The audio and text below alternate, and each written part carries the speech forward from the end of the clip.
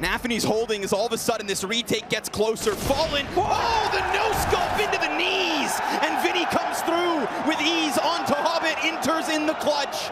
Three players to take.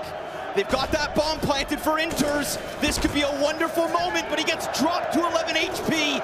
And all of a sudden, he shrinks, he shrivels, and still he finds VINI's head. Point blank,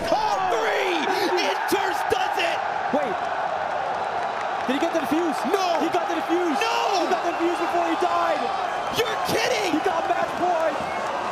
The Grand Imperial Guard where Counter-Strike's so sacred! He sticks that defuse? No way! No